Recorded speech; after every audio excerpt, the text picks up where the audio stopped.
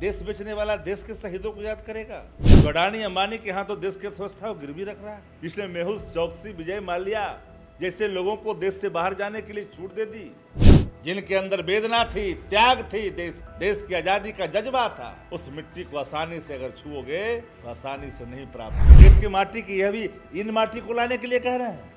इनके घर के माटी ले आओ। जिन लोगों ने देश की अर्थव्यवस्था को खोखला कर दिया।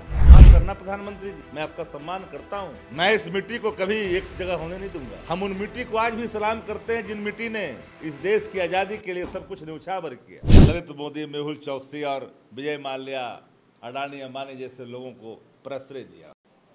सौगंध मुझे इस मिट्टी की मैं देश नहीं बिकने दूँगा। मेरी माटी मेरा देश। प्रधानमंत्री का अपील है जनता से देश की जनता से 15 अगस्त से पहले आप लोग सब कोई अपने अपने घरों से, अपने अपने गाँव से एक एक मुट्ठी माटी लीजिए और एक एक सेल्फी आप लोग पोस्ट कीजिए शहीदों के लिए। इस मुद्दे पर जानते हैं राजद प्रवक्ता शक्ति सिंह यादव का क्या कहना है। सर जिस तरीके से प्रधानमंत्री अपील किए हैं, मेरी माटी मेरा देश एक एक मुट्ठी माटी लीजिए, सेल्फी अपलोड कीजिए आप।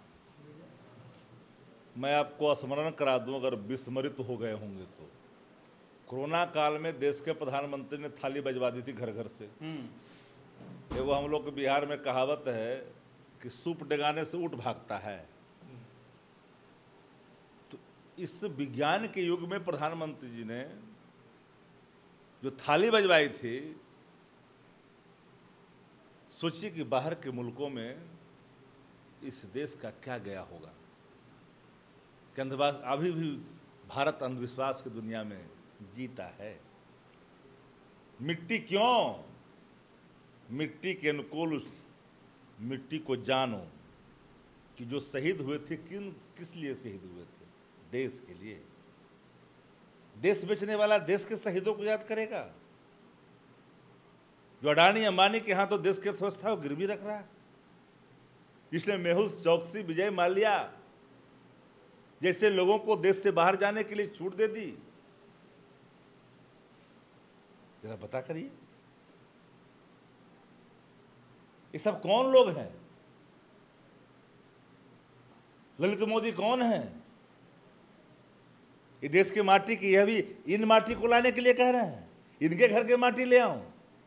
जिन लोगों ने देश की अर्थव्यवस्था को खोखला कर दिया, माफ़ करना प्रधानमंत्री जी, मैं आपका सम्मान करता हूँ। मैं इस मिट्टी को कभी एक जगह होने नहीं दूँगा। हम उन मिट्टी को आज भी सलाम करते हैं जिन मिट्टी ने इस देश की आज़ादी के लिए सब कुछ न्यौछावर किया। उस मिट्टी से भारतीय जनता पार्टी को लेना देना तो है नहीं। उसके लिए अमृत अमृत दिवस पे मतलब वो निकलेगा पूरा कलश यात्रा निकलेगा अमृत कलश यात्रा। पचहत्तर से लगभग कलश यहाँ से पूरे देश भर से दिल्ली जाएगा वहाँ से वाटिका बनेगा वहाँ से वहाँ पे। मैंने तो कहा थाली बजवाए थे गालियाँ दुनिया में मिली देश को। मिट्टी मंगाएँगे? किस लिए मिट्टी मंगाओगे?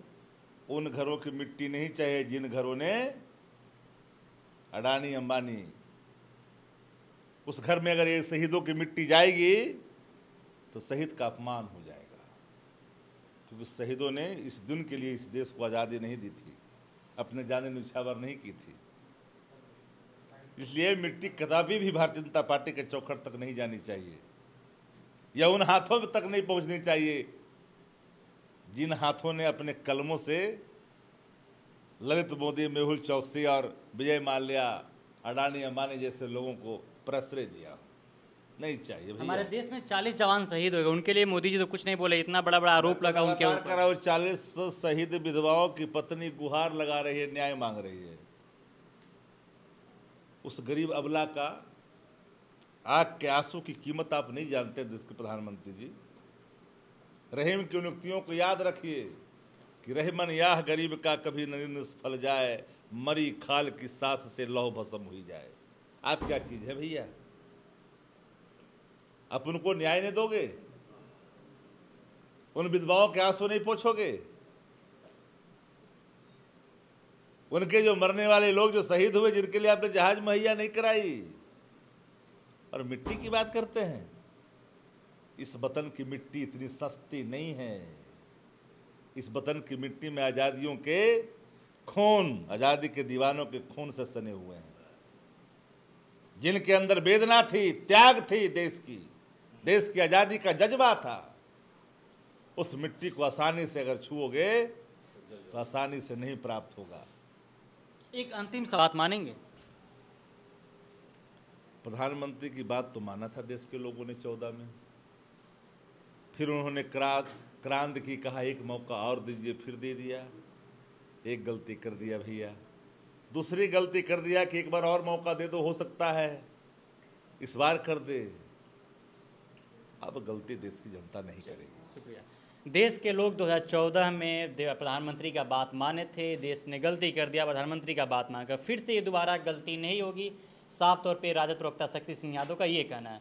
चलिए बहरहाल इस खबर में इतना ही। मेरा नाम आदित्य, आप पंचायत देख रहे थे। बहुत बहुत शुक्रिया।